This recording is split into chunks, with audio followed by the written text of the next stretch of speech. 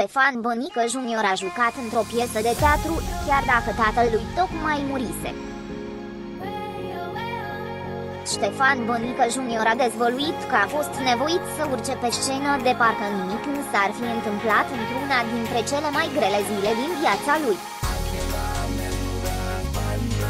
Ștefan Bănică Junior a urcat pe scenă în cea mai grea zi din viața lui. Am jucat la teatru cu tata mort în biserică.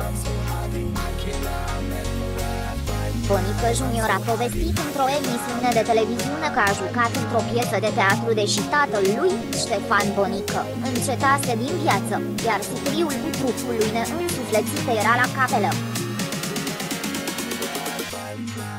pentru că nu putea să nu se ducă la teatru în ziua respectivă. Actorul și artistul a urcat pe scenă deși sufletul lui era sfâșiat de durere.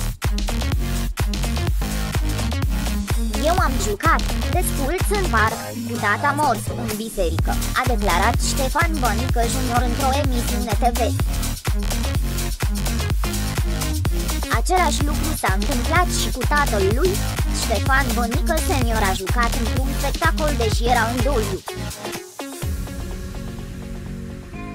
Bunicul meu era mort pe masă, iar tata a trebuit să vină la spectacol, a mai povestit Ștefan Bănică Junior.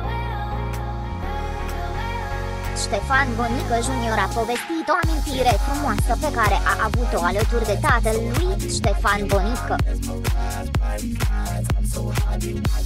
Într-o emisiune televizată, artistul Ștefan Bănică Junior a povestit o amintire foarte frumoasă pe care a avut-o alături de tatăl lui, Ștefan Bănică, pe scena teatrului românesc.